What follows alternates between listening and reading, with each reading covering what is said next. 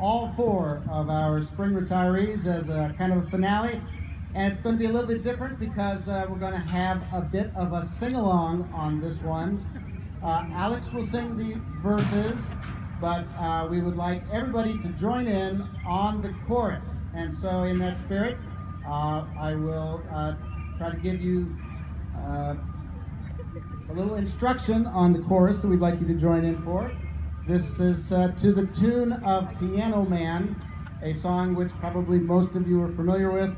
So, in the chorus, let's sing a song for retirement.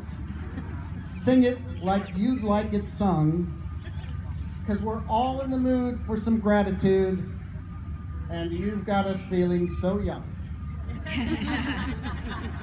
now, I want you to imagine that you're in that bar with Billy Joel. You've had a few drinks, so you're kind of uninhibited. And when you get to the chorus, we want to hear that disinhibition. So, here we go.